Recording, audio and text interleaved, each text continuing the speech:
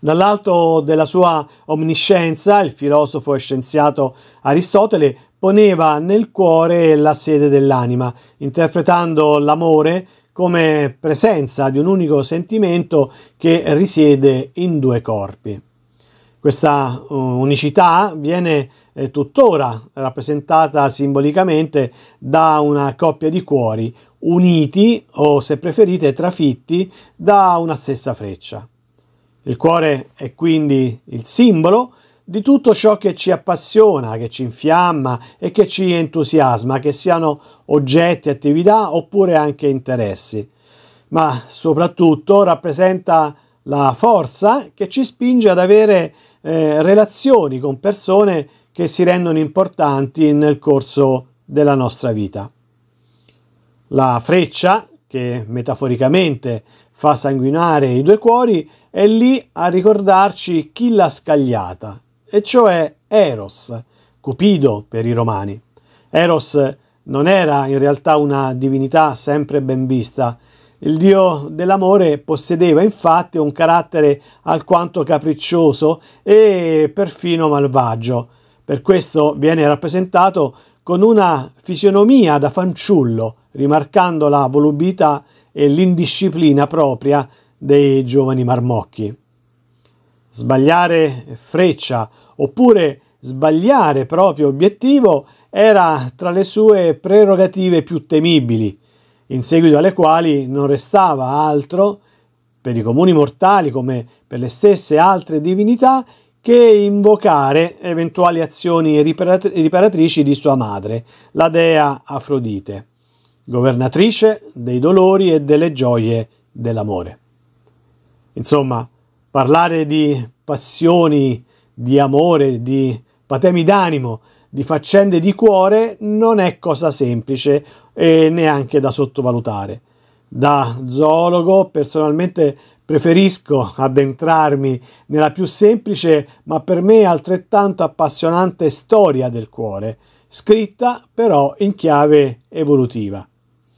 Il primo cuore, complesso, compare a metà del Paleozoico, in forme primitive di vertebrati marini, simili a pesci ma non ancora perfezionati.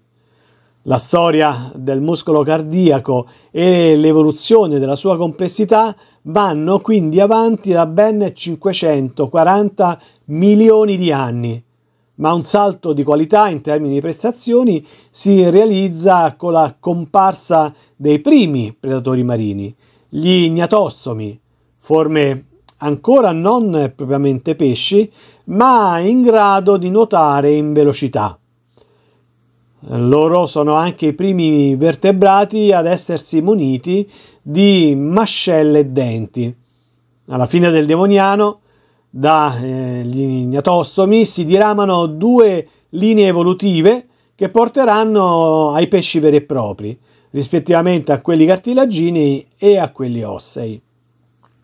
È con l'era dei pesci che possiamo cominciare a parlare di un cuore performante e con una circolazione sanguigna in stretta connessione con l'apparato respiratorio. Poiché i pesci sono muniti di un solo ventricolo ed un solo atrio, il sangue arterioso, cioè quello che proviene dai capillari branchiali, passa nel cuore una sola volta e quindi non si mescola con quello venoso. Con il passaggio alla vita terrestre e la comparsa dei polmoni nei tetrapodi si formerà invece una seconda circolazione, quella polmonare. Ciò porta ad un doppio passaggio del sangue nel cuore per cui l'atrio si divide a partire proprio dagli anfibi in due camere, mentre il ventricolo, nel loro caso, permane singolo e quindi al suo interno si mescolano i due tipi di sangue. Con gli anfibi la circolazione diventa eh, doppia, quello che eh, dovrà ancora evolversi sarà la divisione dell'unico ventricolo avvenuta la quale si riuscirà ad impedire al sangue che circola nel doppio sistema di mescolarsi. I rettili si mettono in questo senso sulla buona strada, infatti nel loro ventricolo compare, si abbozza, diciamo, un setto che lo divide parzialmente e quindi il sangue continua in parte a mischiarsi. Il cuore perfetto, cioè con la circolazione doppia e anche completa, lo troviamo negli uccelli e nei mammiferi. Il loro ventricolo si è defi- diviso definitivamente in due camere distinte e così il sangue delle due circolazioni non ha più modo di mescolarsi. Questo perfezionamento del cuore in quattro camere distinte, cioè due atri e due ventricoli, permetterà agli uccelli e ai mammiferi di aumentare il loro metabolismo e di non dipendere più dalla energia del sole per riscaldarsi. E infatti sono gli animali cosiddetti a sangue caldo, o meglio omeotermi, cioè a temperatura del corpo costante. Come conseguenza, derivata da tutti questi progressi, gli uccelli e i mammiferi diventano i vertebrati in grado di raggiungere le velocità più elevate negli spostamenti e in generale un po' in tutti quanti i loro movimenti. Il cuore, dal punto di vista della evoluzione biologica, avrebbe sicuramente molto da insegnare al cuore passionale, il cui destino è segnato ieri come oggi e così per sempre dalle capricciose frecce di Eros, ma tutto sommato va bene anche così.